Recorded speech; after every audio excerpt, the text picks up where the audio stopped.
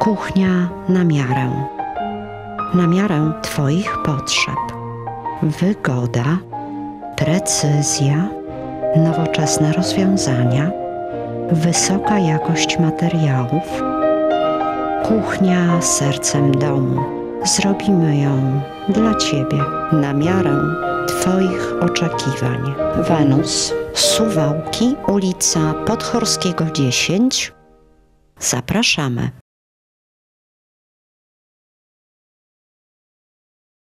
Powoli Rada Miejska w aktualnym składzie przechodzi do historii. Końcówka kadencji jest nie tylko czasem rozliczania samorządowców z czteroletnich dokonań, ale także okresem intensywnej sprawozdawczości. Na ostatniej sesji wszystkie komisje relacjonowały swoje dokonania z całych czterech lat, a my żałowaliśmy, że takich sprawozdań nie składają radni. Łatwiej byłoby wyborcom ocenić ich aktywność i skuteczność, a wiemy, że wielu spośród nich takie, mówiąc żartobliwie, rachunki sumienia czyni. Wyborcy szczególnie przyglądają się dorobkowi radnych, którzy ponownie ubiegają się o mandaty, oceniają ich aktywność, sięgają pamięcią do chwil, w których rajcowie podnosili rękę w istotnych dla mieszkańców sprawach.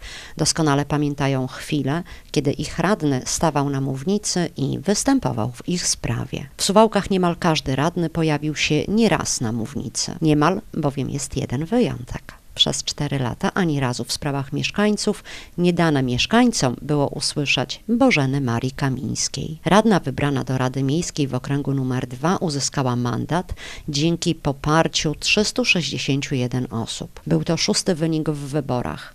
Wyprzedzili ją tylko znani i wielokrotnie obdarzani zaufaniem Grzegorz Gorlo, Dorota Jabłońska, Zbigniew Demezer, prezydent Rankiewicz i związkowiec Zdzisław Koncewicz. Według często powtarzanej opinii w uzyskaniu mandatu Bożenie Marii Kamińskiej pomogło nazwisko i pierwsze imię, zbieżne z nazwiskiem posłanki Bożeny Kamińskiej, również wywodzącej się z Platformy Obywatelskiej. Naszym reporterom na przestrzeni czteroletniej kadencji Dziękuję również nigdy nie udało się skłonić radnej Kamińskiej do wyrażenia opinii, zdania, poglądu.